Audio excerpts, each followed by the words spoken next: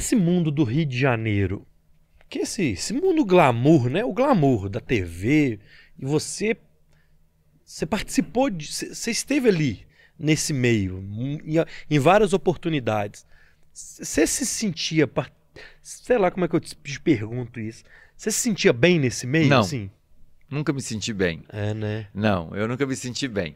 É, eu, eu gostava das pessoas, todas elas são pessoas boas, mas eu não me sentia bem porque. Você gostava do trabalho, do trampo muito, ali, tudo? Muito, muito. Gostava muito. Gostava das pessoas, mas é, eu, eu não me sentia parte integrante daquele sucesso, daquele glamour, sabe? Eu nunca. É, eu, eu gosto de estar no palco. Você gosta do teatro, né, cara? Eu gosto do teatro. Eu bem que podia gostar de outras coisas. Eu queria muito gostar de outras coisas. Mas, infelizmente, eu, eu não consegui gostar de, de outros veículos. Eu sempre gostei mesmo, foi do teatro. E, e me dediquei uma vida inteira ao teatro. Uhum. Eu comecei a fazer teatro, eu, eu costumo dizer que eu, eu, a primeira peça que eu fiz, eu fui Menino Jesus no presépio.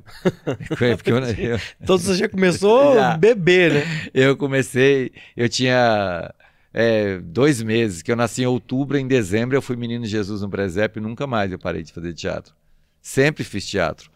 É, eu, eu nasci lá no Cerro, né? Uma cidadezinha muito pequenininha e quando eu nasci, há 60 anos, era muito menor ainda, né? Uhum. E aí, lá no Cerro, eu, eu, recitava poesia com seis anos de idade, sete anos de idade, eu recitava poesia, né? eu celebrava missa, eu eu ia a minha mãe ia à missa todos os dias. Minha mãe era muito religiosa, muito.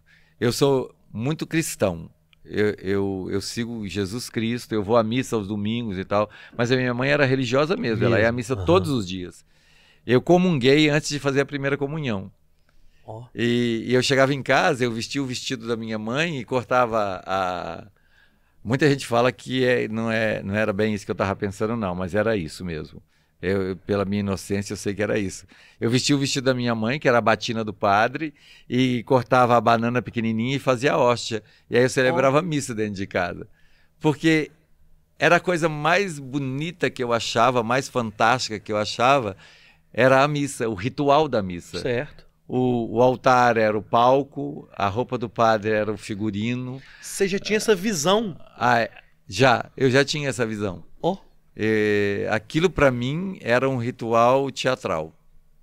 E hoje eu vejo que é mesmo. É bem teatral, é, né? É. Mas é, eu, eu adoro isso. Até hoje eu, eu